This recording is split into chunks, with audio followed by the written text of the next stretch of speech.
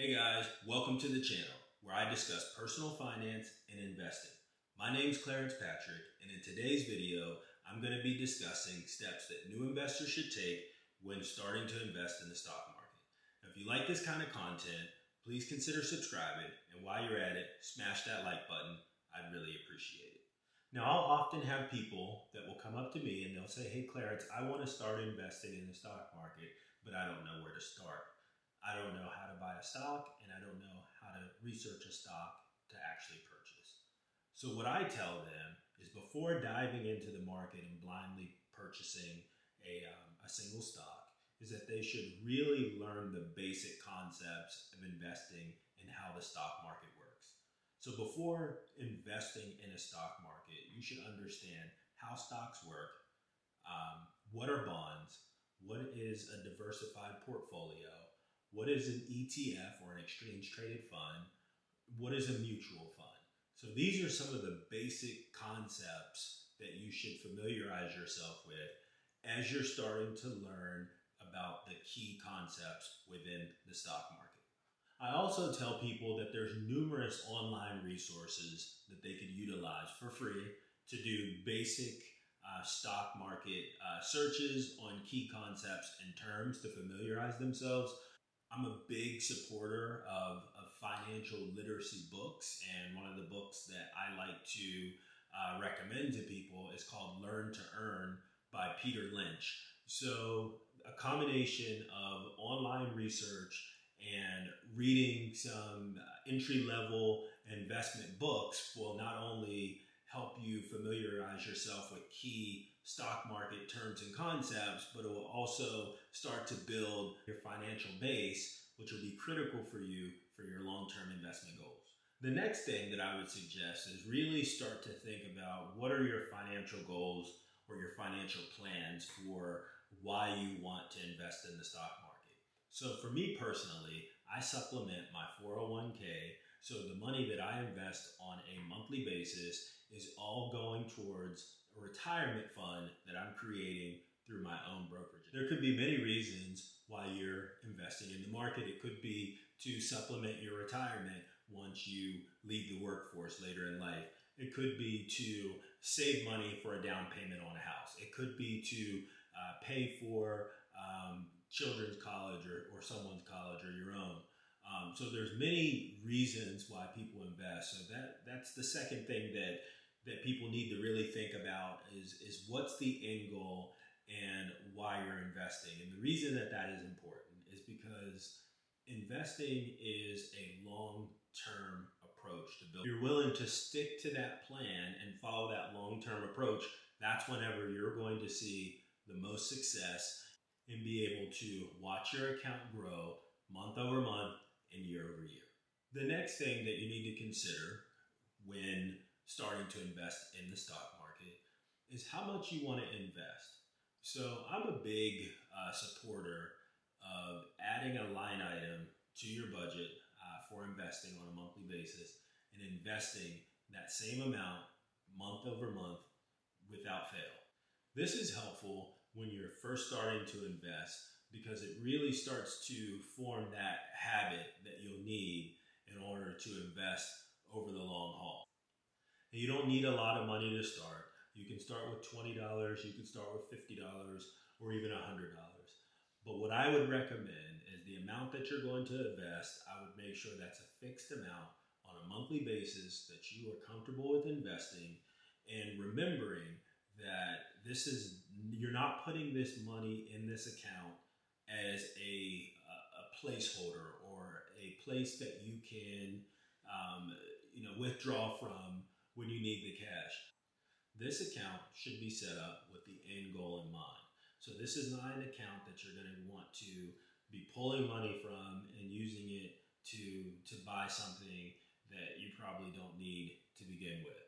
So when you think about investing, think about the end goal that you had in mind whenever um, you went through the previous step where you're you're thinking about what is the end goal your investment journey? Is it to supplement your retirement?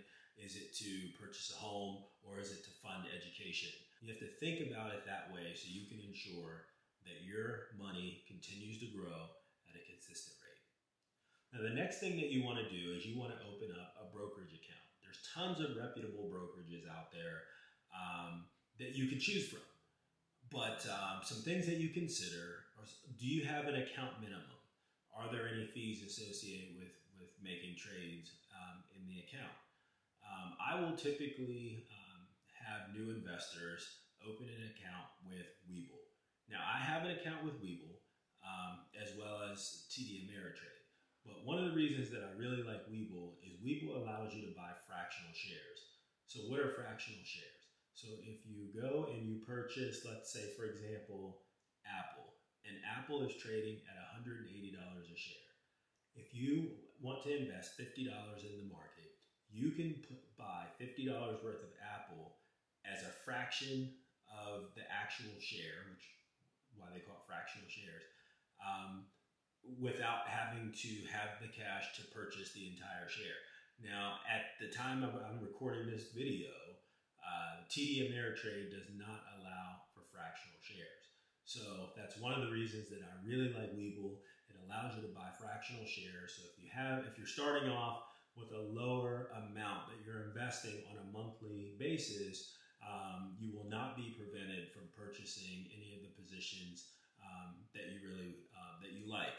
If you're interested in opening an account with Webull, I'll put a link in the description below that'll take you to their site to where you can sign up for a free account. One of the good things about Webull is they will often run promotions where they will give free stock for opening an account and depositing any amount into you. If you haven't opened an account, you should consider Webull because it's free to sign up and there's a very good chance that you'll get free stock when you sign up. So you've set your financial goals You've decided how much that you want to allocate to your investment account on a monthly basis. You've opened your brokerage account. So the next step is you're going to assess what is your risk tolerance.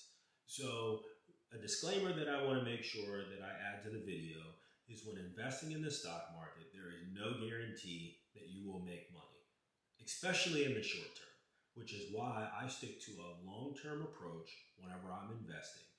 So there's no guarantee that you will make money in the short term. Now, with that said, once you've assessed your risk tolerance, then you decide which stock or asset class that you want to purchase. So, in my opinion, new investors should not be investing in individual stocks. Now, of course, that's up to you, and you can decide to do what you want to do with your investments. But in my opinion, it's a much riskier um, it's much riskier to purchase individual stocks as opposed to investing in index fund. So index funds are basically a basket of stocks that are picked by a fund manager and added to a overall fund that you would then purchase. So what I often will do is I will give the grocery store analogy when it comes to ETFs.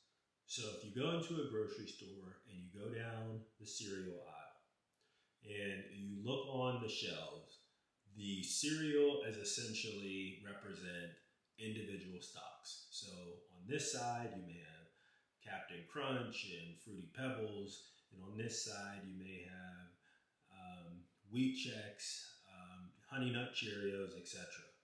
So if you think about an index fund, an index fund is essentially a fund manager that's going down that aisle and they're taking a little bit of Captain Crunch, they're taking some Honey Nut Cheerios, they're taking some Fruity Pebbles, and they're putting them all in one basket. And it, the good thing about that is that takes the responsibility of selecting individual stocks off of your shoulders and puts it where it should belong, which is in the hands of a fund manager. So you're not going to be buying those individual stocks. You're going to be buying the actual fund. And if you remember from the beginning of that grocery store analogy, you're buying a little bit of everything in that aisle, which will make up that fund. I'll add a link in the description below, which will link you to a website that is an ETF database that will provide you with an overview of all of the sectors in the stock market and some of the top ETFs in those sectors that you can invest in.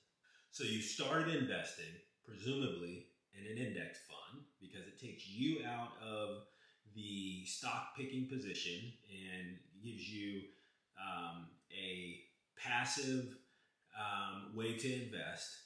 Um, and it's been a few months now.